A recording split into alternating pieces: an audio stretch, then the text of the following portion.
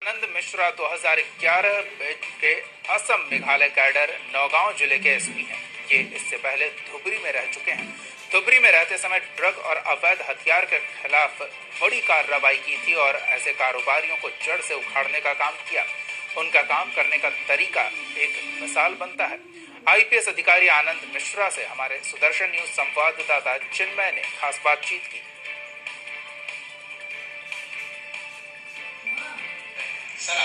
अंदर सारे इंडिया के अंदर काफ़ी सोशल मीडिया पे आपका वायरल हो रहा है। इसके बारे में आपका क्या बोलना चाहिए आई थिंक ये बोलना शायद उचित है कि मेरा चर्चा होगा, शायद काम का चर्चा होगा।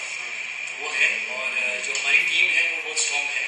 और बेसिकली समहाउ यस डेडिकेटेड तरीके से जो काम करना होता है रिज़ल्ट ओरिएंटेड काम करना, और इंटेग्रिटी रख के काम करना।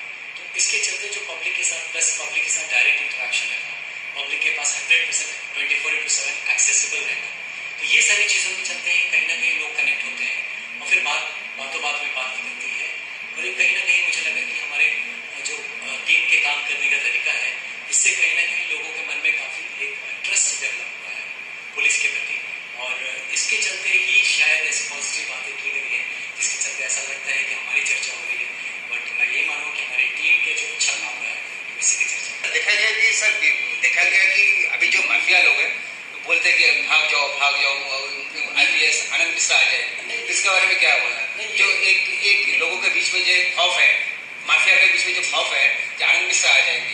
तो सभी डरते हैं क्या बोलेंगे इसके बारे में? इसके बारे में बोलना कुछ नहीं करना है हम चाहते हैं कि वो डरना ही खरीदे नहीं हम तो उनका जो अंजाम है वो पहुँचाने ही आए हैं और वो पहुंचाएँगे वो तो भाग रहे तो कहाँ तो भागेंगे हम भी देखते तो हमारा ये स्ट्रक्चर क्लियर है कि हम जगह में कि जैसे कानून का राज चलेगा और दूसरा किसी का राज नहीं चलेगा चाहे वो कोई भी हो तो जो कानून का राज स्थापित करना हमारी ज़िम्मेदारी है उसको हम करेंगे उसके लिए कितने बड़े भी माफिया हो हमसे ज़्यादा वो बढ़ेंगे आज एक एस को हटा सकते हैं दो पुलिस वाले को मार सकते हैं कानून को नहीं मार सकते है ना हमारे जो संवैधानिक जो हमारी जो ताकतें मिली है जो सरकार को क्योंकि समाज की सेवा के लिए हम जो लगे हम वो आप हटा सकते हैं। हमें सरकार को नहीं हटा सकते। आप एसपी को नहीं मार सकते। आनंद मिश्रा को मार सकते हैं। एसपी को नहीं मार सकते। और ये जो एसपी है, वो चाहे कोई आनंद मिश्रा चाहे कोई हो, ये जो माफिया है जो है वो जब एक मर गए ना तो वो तो मर गए फिर उनका बदला दूसरा कोई नहीं आएगा। मेरे बदले दूसरा एसपी आ जाएगा। उनका कोई सेकंड चॉइस नहीं है। तो ये बात हम ध्यान रखते और ये मान के हम चलते हैं कि एसपी जो है, वो हमारे मैं मर सकता हूँ। एसपी हमारे हमारा जो संविधान का ताकत है, ये हमारा ये हमारा ताकत होता है। यहाँ से हमें ताकत